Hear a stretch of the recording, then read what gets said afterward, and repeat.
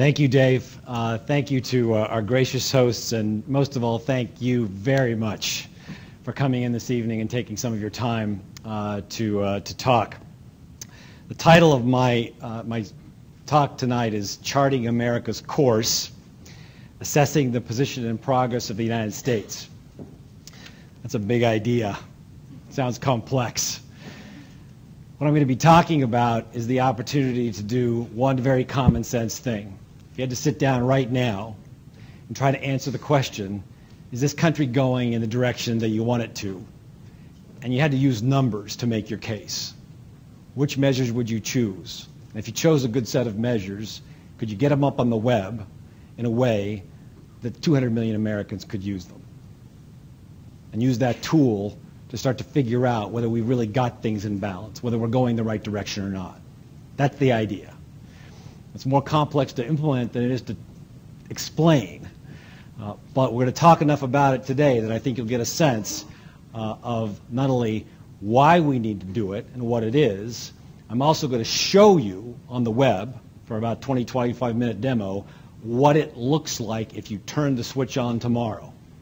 So you're going to get some very detailed, specific information and measures on the web of what this would look like, and then talk a little bit about what the ultimate impact uh, will be for all of us as Americans.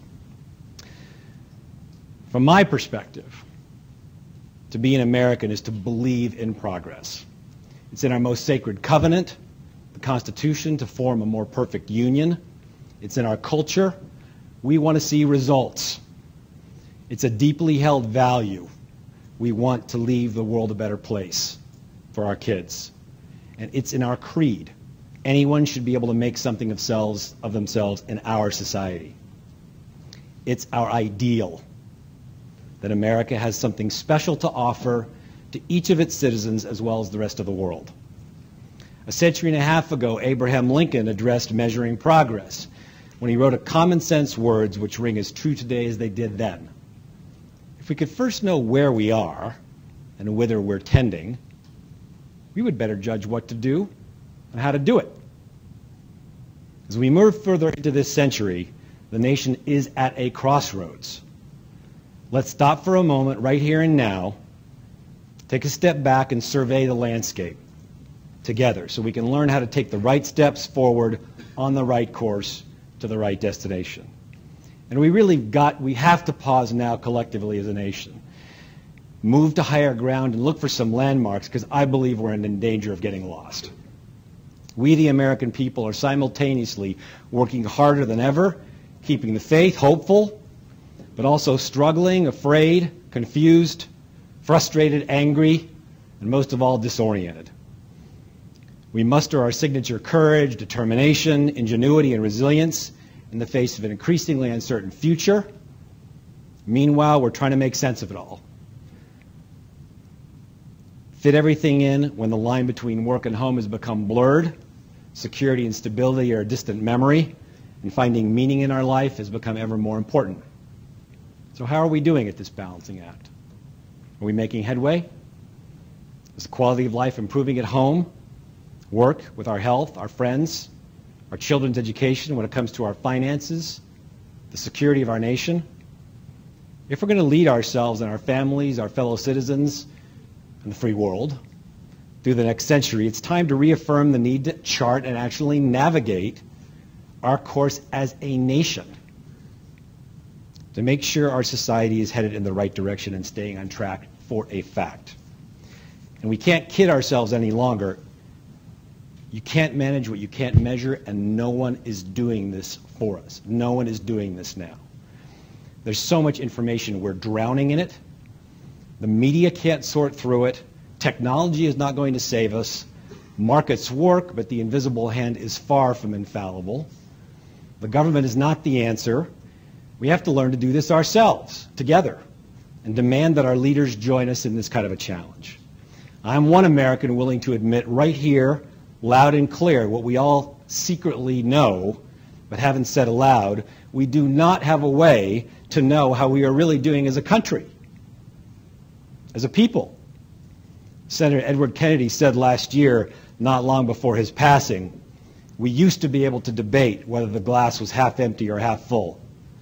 Now we've lost the glass. This is an unsustainable situation and an unparalleled opportunity to advance our democracy. We must simply apply the same standard to our nation that we apply elsewhere in life. As individuals, we track our weight and our blood pressure. Our families watch budget and savings. Businesses track profit and loss. Even our churches and nonprofits track donations and participation. Governments track taxes and performance measures. To chart a course for the United States, we must simply choose and track key measures and then work to create a navigational tool that helps all Americans assess our progress. We need a key national indicator system. So first, let's get in the right mindset about this. We sit here together. Be conscious of our many roles in life.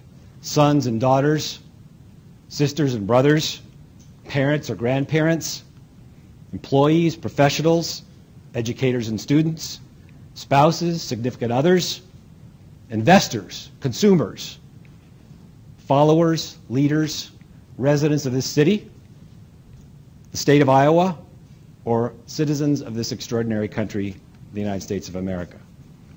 Stop for a moment and just think and sit here as a complete human being and let's give ourselves some perspectives. Consider not just the pressing issues we face too often in the headlines, but take account of some of the deeply held personal dreams and aspirations that we far too seldom take the time to celebrate and nurture. Think of the past far behind us, the present here with us, and the future ahead of us. Remember, just for this moment, the achievements, sacrifices, and legacies and shortcomings of past generations, the extraordinary body of energy and talent alive in this very room at this very moment, and in the generations going forward. Open your mind, heart, and spirit. We're all struggling today to get ahead and get through each day, but we must pause and re-examine. Measuring is actually so second nature to us that we often take for granted what a meaningful activity it is. When we measure, we specify, we quantify what we value most. Behind every seemingly abstract statistic, a chart or a graph, are real people and stories. In the medical profession, there's a saying, favorite saying, behind every number there's a tear. Behind all these numbers, we're going to be talking about their tears or smiles, a suffering or thriving child, a struggling family, a small business taking off or one going under, someone who walks home from a night whistling or who's afraid on the streets, a broken or a vibrant community, someone who's just gotten or lost a job. If we can't learn how to chart a course together now, then our struggles will increase and we risk failing, falling further and further behind the curve. The stakes are too high, our quality of life, the time is short, we're already behind, and resources are scarce, getting scarcer. Just look at the systemic risks that have revealed themselves with a surprising, shocking frequency.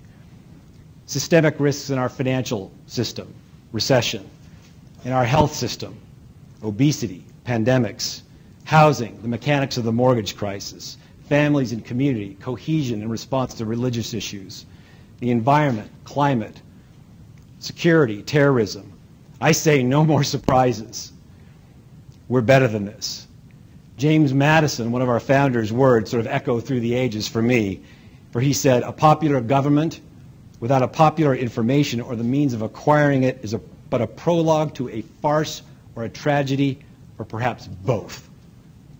We must create a new source of popular information or risk a farce and face the prospect of even greater tragedy. If we do this together, then nothing is beyond our capacity as a people. We must step forward on the only sure path to our future. Choose our direction and make it happen.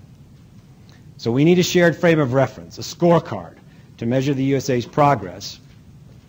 We've got to look at wholes, not just parts and look at what's really important. Find the 80-20, the 80% that we can agree on, debate the rest, not let the perfect be enemy, the enemy of the good.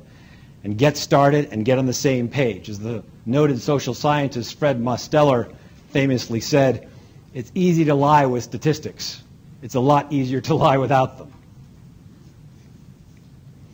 We need to focus on fewer measures, the best quality data available for, from either public or private sources, and make them much, much easier for lots of people to use up on the web. Achieving excellence, and as Americans we must demand nothing less, requires agreeing on how to define our success. With access to the best available data, free, and access 365 24 7. We have the responsibility, the right, and the ability to assess the progress of the nation for ourselves. And everyone needs to participate. Individuals that are leading in our society, citizens, government agencies, philanthropies, corporations, media, academia. And this navigational tool, this scorecard, is within reach. The State of USA, which I represent, is part of a historic national effort to build a key national indicator system. It's the law, law of the land now since March 2010, and it's an oasis of bipartisanship in the current political environment. It has diverse private sector philanthropic support, Carnegie, Rockefeller, Gates, Hewlett, a bipartisan national commission, which is just being assembled. The Senate has already made their appointments. And the prestigious National Academy of Sciences and its operating arm, the National Research Council, are on point. The $70 million authorization over nine years. This effort is going to make it possible for all of us to assess progress using a common scorecard that represents new common ground. Now you might ask yourself, is this really possible? It's not only possible, it's happening. I'm going to show it to you today, a quick early preview, although there are still many hurdles to overcome. Everything I'm showing you on the web today is either live or ready to go live. And we'll give you a very concrete demonstration of how you and all of us can take back the task of assessing this country's progress and charting our course into the future. It's important to say that this national effort started on the local level 20 years ago and has grown and evolved to include millions of our fellow citizens around the country who've already started doing it. A movement of Americans that has been slowly but steadily building since 1989 in over 100 neighborhoods, cities, counties, regions, and states all over this country. Pittsburgh, Chicago, Boston, Silicon Valley, Virginia, Jacksonville County, Florida, Baltimore. The list goes on. You can go to our website. They're all here. These key indicator systems cover jurisdictions that represent a very large portion of the American public already, which means that in all these areas there's a place to get involved at the state or local level, and there's a foundation and growing momentum to support a key national effort. This is a quiet revolution of citizens that have already taken their collective fate into their own hands and finding new ways across sectors to define, measure, communicate about, and advance their progress. Far as I'm concerned, it's another in a long line of American revolutions, and now it's arrived at the national level. So how are we going to make this work? Ask hard questions and assume nothing. We should ask tougher questions of ourselves and of our leaders based not on just, just not just on what we believe, but what we know. Not just what we know, but what we can know collectively. Not just what we know collectively, but what we can measure specifically and not just what we can measure, but what we can't measure or what we're now mismeasuring. Let's take an example. So get ready for a show of hands. I'm going to first read out three questions and then ask you to raise your hands in response to these questions. This will be the only audience participation exercise tonight until we do Q&A in about 25 minutes. So, three questions are, how many of you think that the USA is generally on the right course? How many of you think the USA is generally on the wrong course? How many of you are unsure? So, first question. How many of you think the USA is generally on the right course? Raise your hand. 15, 20. How many of you think the USA is on the wrong course? Maybe 30, 40, 50. How many of you are unsure? Now, here's what's so amazing about that. The majority of you are unsure.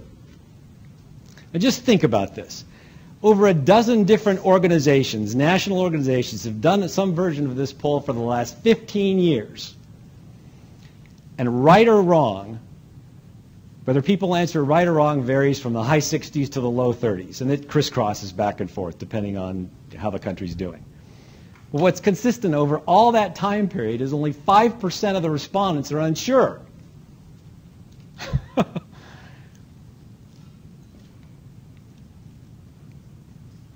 now, I'm missing something, but are we really so sure of ourselves? I think we just got the answer. If you really stop to think about it, we're not that sure of ourselves. We should be more skeptical of assessments, opinions, and arguments without solid facts, more tolerant of good questions without answers, and do the hard work of figuring out what's right to measure. We're just not yet focused on the right measures or the right tools, and in many cases, we're measuring through a rear view mirror rather than looking forward. Now let's start to dig in and take some examples. Are we focused on the right economic measures? I'm skeptical.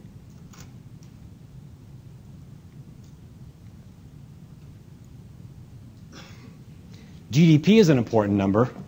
The difference between the regions over 1 million in population that produce the highest GDP per capita, Silicon Valley at 82,000 and San Bernardino at 22,000 is about 4x. But GDP has limits, like every measure, and Nobel laureates like Joe Stiglitz and Amartya Sen and Daniel Kahneman are telling us we rely on it too much.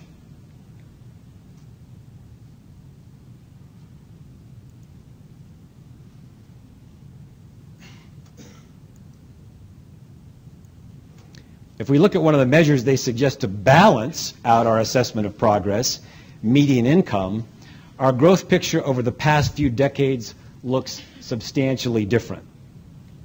Since 1968, GDP has grown 120%. It's that blue set of circles.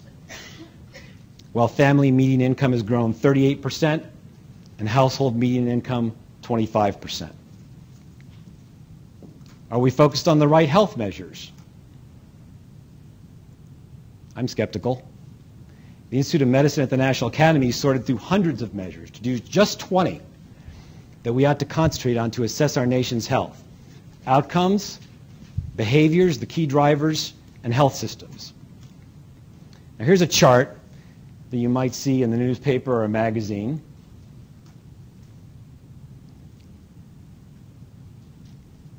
Life expectancy at birth for the U.S., a key measure of results increasing over almost 50 years, from 70 to 77. The U.S. is this red line. But still the lowest of the G7 countries compared to 82 for Japan. I wouldn't sneeze at five years. That's a pretty big number difference. But most media do not present this information in a way that many more Americans can discover something meaningful, understand and assess progress, and then widely share their point of view. So what we've created on the web is, first of all, multi-layered so that you can look at the time series. If you want more information, you can click on these tabs and get more in-depth views on what's behind the numbers. It's multi-form in the sense that you could either use this data on the visualization, you could click through it and go directly to the source data from the OECD,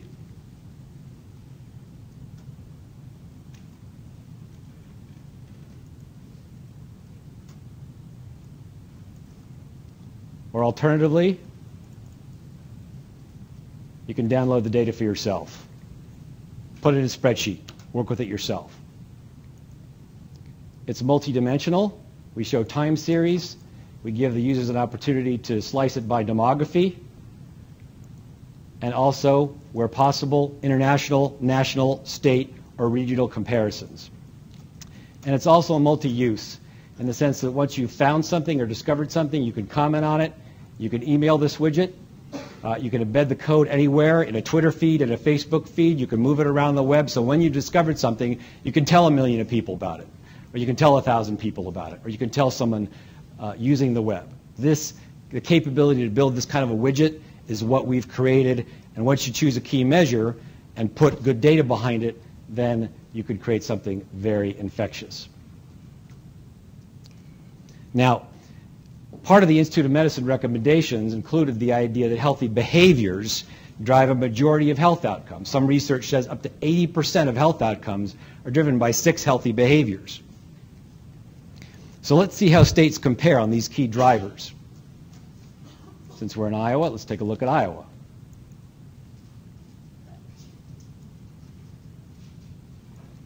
So Iowa is near the top in excessive drinking and teen condom use. And around the median in physical activity, smoking, and obesity. Interpret it how you will. Those are the numbers. If you want to dig deeper, you can dig deeper by going in and looking at the rankings and slice them by demographic groups. So how does this all add up? What bang are we getting for our buck compared to other nations? Well, OECD comparable countries, which are re uh, represented by these circles on this chart, were all together in 1960 on per capita health spending and life expectancy. Over the years, they followed different courses. The U.S. had life expectancy of 70 and a per capita expenditure of 149 in 1960. In the next 25 seconds, you're going to watch what happens over about 40 years. The U.S. ultimately diverges, increasing its cost per capita on health while staying roughly equivalent in life expectancy. So that in 2006, life expectancy had risen to the 77 years with a per capita health expenditure of $6,900. You wonder why we had a national health care debate. Are we focused on the right measures in competitiveness? The state of our families, youth and children, innovation, infrastructure, energy. I'm skeptical, but as you can see, there are many good places to start.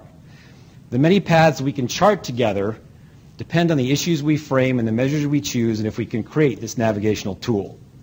I believe it'll be more than worth the effort. Better frame problems and priorities, increased understanding of what we know and don't know, what works and doesn't work, more informed choices, and improved allocations of scarce resources. Above all, we will and we must move beyond partisanship to problem solving and beyond politics to progress. So what does assessing the progress of the USA actually mean in practice? Well, all navigation, uh, no matter how complex, starts with a basic question. Where are you now and where have you come from? Usually this involves the geography of space, point A and point B. We must create a geography of change geography of destiny. And we can use a key national indicator system to assess where we are and where we've been and whether we're really getting where we want to go at the right pace. Assessing progress means a key national indicator system must address the true, true meaning of the word nation as we understand it here in the U.S.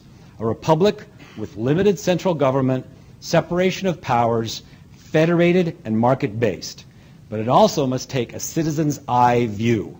For one day, we might want to use the system as a resident of Iowa City, and the next day we might be interested in how the country as a whole is doing. Let's take crime. Well, at the national level, as you'll see from this chart, the four main types of violent crime have dropped from over 700 per 100,000 people in 1990 to less than 500 in 2009 picture looks much different, however, when you look at the city level. Let's take a look at national rankings for murder. Baltimore is at 37. The bottom of the list is Honolulu at 2. Let's take a look at rape. Cleveland leads the list with 98.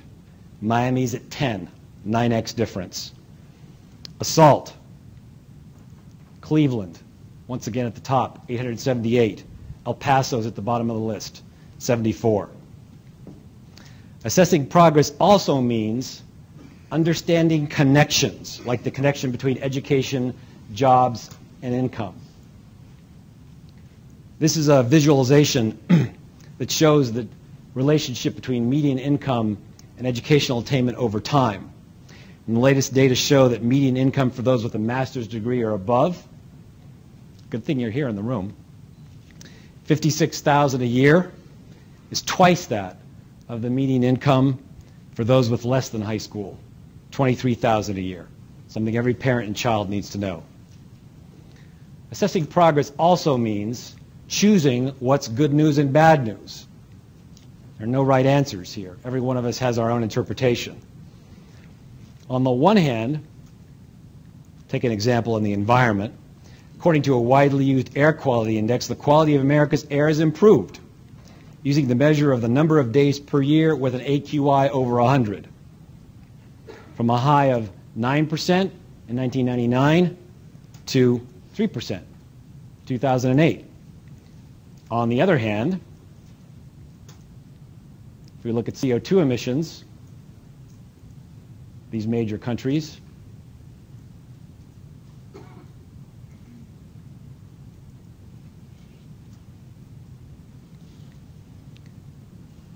The U.S. is still producing CO2 emissions per capita at a rate that is among the highest in the world. In 2007, the U.S. produced the highest per capita output at 5.2 metric tons, a factor of 10x greater than India at 0.39. Assessing progress also means looking at the U.S. in the context of the globe. We are tightly interwoven in a global economy and society, and when it comes to national security, this is especially true and especially hard to measure, and especially hard to measure in public. But here's one way. It's so easy that the 11-year-old daughter of one of my colleagues used it at school the day after we produced it. You can assess for yourselves just how secure you think the U.S. is, given the existing chemical, biological, and nuclear profiles of 30 key nations out of a global total of about 200. Here's an example of a profile. Assessing progress also means looking at who's doing well and who's not, whether closing disparities based on age, race, and gender. Most of us probably know that women still make less than men on average in the workforce. But let, us look at progress in the 25 to 29 age group on closing disparities in educational attainment and median income. Since 1980, women have steadily outpaced men in degree attainment.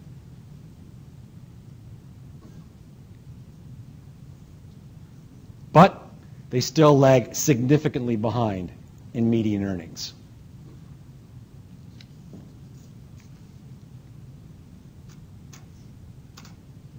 Now, assessing progress also means taking a long-term view, putting things in perspective. As a result of this recession,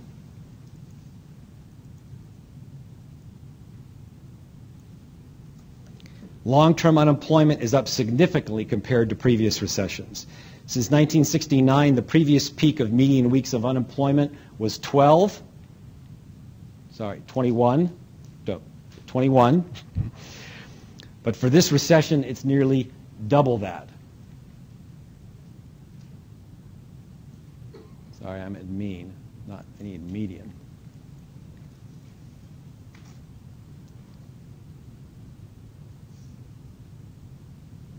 Median is 12, and nearly double that at 25 in this recession. Something we're all probably tired of hearing. Now, this and many other the, the measures we've looked at so far, growth and incomes, all have an influence on the issue of our federal government deficit. This is a serious and complex issue, but it's still possible with a little bit of effort to make it much more understandable for the American people. This tutorial, which takes about a couple of minutes to go through, explains what the deficit is,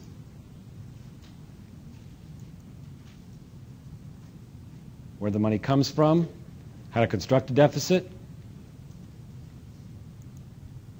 Then it shows the absolute numbers over time. Makes the point that it helps to look at this as a percentage of GDP. Shows the adjusted numbers, which puts things in perspective.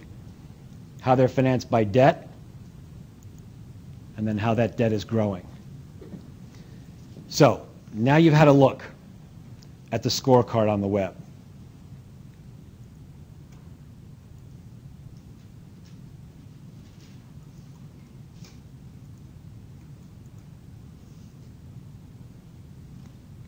How do we chart America's course using a scorecard like this?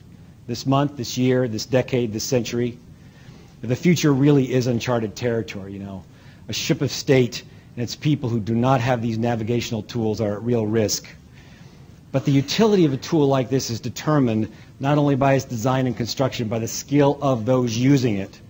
Any measurement tool has real strengths and very real limits. Einstein actually expressed this idea very well when he said, everything that can be counted does not necessarily count. Everything that counts cannot necessarily be counted. And acknowledge, we've got to acknowledge that the key national indicator system will only do so much. It will focus on a limited number of measures. It won't be an encyclopedic database. It will be a navigational tool, but it's not going to choose our destination for us. It'll be a single source, make it much easier for all of us to get at this data, but it's not going to collect original data. We'll disseminate information, but not interpret it. That's up to you and the media and the policy community and the research community. It'll be relevant, but it won't set goals or targets. It'll call out gaps in what we know, measures where we don't have data, where the data quality isn't good enough, but it won't fill those gaps. And it'll try to earn a new level of trust, especially from the generation in the schools today, but it won't be a single source of truth. Nevertheless, a key national indicator system shifts an enormous amount of power back into your hands, the people's hands. It empowers us to ask key questions with an entirely new context. The answers to those questions become more significant with a key indicator system in place because it will be much easier to distinguish authenticity and accountability in how people answer them. We'll get out of this what we put into it. As President Ronald Reagan famously said, are you better off than you were four years ago? We must ask this question not just every four years, but every year, every month, every week, every day. Take our citizenship to a new level, to challenge our leaders at a new level, to take our society to a new level. What is the issue or opportunity you're trying to solve? What are the measures you use going to define progress? What's your baseline? Where's your starting point? What are your goals? By when? Do you have the right solutions? Are resources going to the right solutions? And based on your measures, are we actually making progress? So the bottom line, what will this mean for America? What could mean this, this mean for America? We can have a better understanding of what we do and don't know. And instead of having policy debates without being episodic, without perspective, without agreed upon metrics, we could involve millions of citizens in learning what's working and what isn't on a continuous, cumulative basis. Instead of how, our nation, how is our nation doing, in fact, being effect, ineffectively unanswerable, answers to this question would be possible for tens of millions of citizens. In the 1990s, the president of Harvard University wrote a book called The State of the Nation. It took him 10 years. With this kind of a tool, millions of us could put up a Facebook site or write a thoughtful paper in days or a week based on our own point of view on the state of the nation. So instead of youth being curious about society as a whole or skeptical or questioning, but without tools to understand, you can use these state-of-the-art tools and technology to enhance numeracy and raise bold new questions about where we can go. This is a real, real moment of truth, a difference we can make together. I really believe, having studied history and studied leadership, that great steps forward in history occur at moments when deeply held values are reaffirmed in the face of changing realities and unavoidable contradictions. Good citizens and great leaders grasp these moments, marshal resources, and act boldly to refresh and reinvigorate their societies. This moment's arrived for all of us. It's symbolized by the inspiration underpinning this event and there will be concrete opportunities to contribute in workshops on Friday when you can say what you think is most important to measure about the state of the USA. We have to reaffirm the principle that an open, informed society take regular stock of how it's doing, but reinvent the means by which we accomplish it. The Constitution addresses measuring progress when it states, from time to time, the President shall present information on the State of the Union. That mechanism is necessary, but it is no longer sufficient for the 21st century. All of us must act on the frustration felt when we see people sow confusion that hinders common aims and hear loud voices that revel in ignoring shared facts, make doubt their profession, and fear the product they sell. As citizens, we must grasp the power to think critically based on both values and facts about whether scarce resources are producing progress under effective leaders. And as stewards, whether parents or grandparents, We must demand a greater sense of collective accountability for our legacy. And if we all do this, then soon our generations will be able to be the first in history to look our sons and daughters in the eyes, to look each other in the eyes and say, we have finally learned how to know for a fact whether we are leaving the world a better place for you and future generations, and to keep that from being a cliche, which is what it is right now. If you haven't already, join the Americans that have already embraced this 21st century endeavor. Take up the challenge of 21st century citizenship and use it to challenge authentic 21st century leaders. I look forward to traveling with you on this journey ahead. It's been an honor and a pleasure.